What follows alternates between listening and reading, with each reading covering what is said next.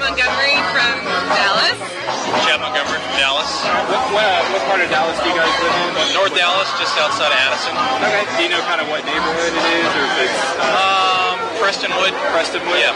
What kind of uh, landmarks and things like that kind of kind of define your community to you up there, or, or is there anything that kind of drew you to that You area? know, the honestly, I don't know if there was anything that drew us to the area. You know, the Prestonwood Golf Course has been there for a long time. I guess that's kind of an iconic uh, thing in our neighborhood. Um, but really, our, I'd say our neighborhood sort of lacks some iconic, uh, you know, architecture in the area. There's, Defining stuff. yeah.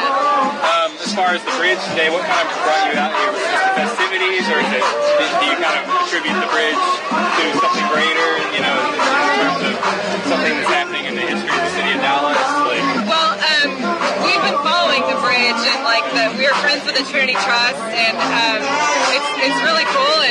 We're big fans of Calatrava, and we got to see him at a uh, Trinity Trust uh, organization and stuff. So, I mean, it's it's a great thing for Dallas, and I know the goal is to connect um, Dallas and Fort Worth and the surrounding cities and stuff, and I hope that happens. what do you think? Uh, with the bridge in terms of its, its role in us, do you think it'll be ultimately successful, or do you think it, it, I hope so. I'm optimistic about it. Um, it's it's a pretty massive undertaking, but um, it, would be really cool if it did, and I'll be pushing for it too.